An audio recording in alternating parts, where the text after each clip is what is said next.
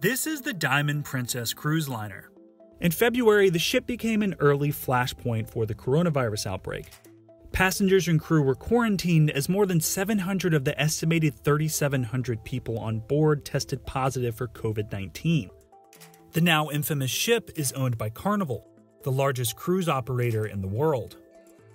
Multiple cruise ships have experienced a coronavirus outbreak on board, including several owned by Carnival. Since the coronavirus outbreak hit, the number of cruise ships sailing around the world has fallen drastically, leaving the cruise operator in a precarious position. But in the face of a pandemic, health authorities and passengers are questioning whether cruise operators can set sail safely going forward. Carnival began its history in 1972 as a cruise liner with a single ship, the Mardi Gras. Up until then, uh, the industry was separated, small operators doing their own thing. Carnival was revolutionary because it made cruising affordable to people from every walks of life. Carnival fueled an industry wide shipbuilding boom in the 1980s and branded itself as the world's most popular cruise line.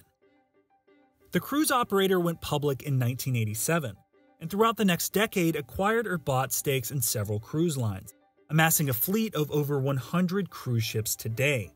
They would compete directly with the hospitality industry, offering a different product. And throughout the past two decades, the company has weathered disease outbreaks. We were told by our waiter that over 200 people had already been to the infirmary. And I was sick for five days. As well as natural disasters and accidents at sea. In 2012, the Carnival operated Costa Concordia ran aground in Italy. The accident killed 32 people. It was sinking so fast, and where we were standing is actually underwater right now, so obviously we needed to get off right then. Then in 2013, the company hired Arnold Donald to right the ship as CEO. Under Donald, Carnival's market value nearly doubled to $45 billion in 2017. He brought them together uh, uh, in having a common strategy of what they offer, applying a way to control costs across all those brands. Over the past years, the cruising industry has been adding at least 1 million new passengers every year. But in 2020, coronavirus became a major concern for the cruise industry early on. There are two cruise ships that have been quarantined, including the one right here in Hong Kong behind me, as well as one in Yokohama, Japan. The fear is that coronavirus is spreading. Carnival and other cruise operators began canceling voyages in Asia.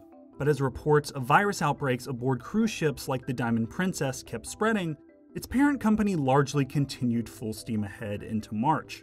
They were not prepared for coronavirus because nothing like this has hit them before. They cannot evacuate thousands of passengers. They could not deal with a rapidly spreading epidemic. The CDC declared a no sail order on March 14th, and Carnival's stock price has fallen through the first few months of the year.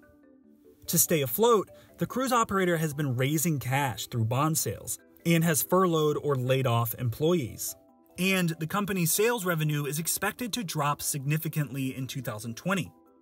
Carnival said it plans to resume some sailings on August 1st, despite a congressional inquiry into the cruise operator's health and safety practices. It's a matter of trust. So it will take a lot of convincing, a lot of guarantees, and above everything, some time for the clients to return. And they're counting that people's memories for unpleasant events is short.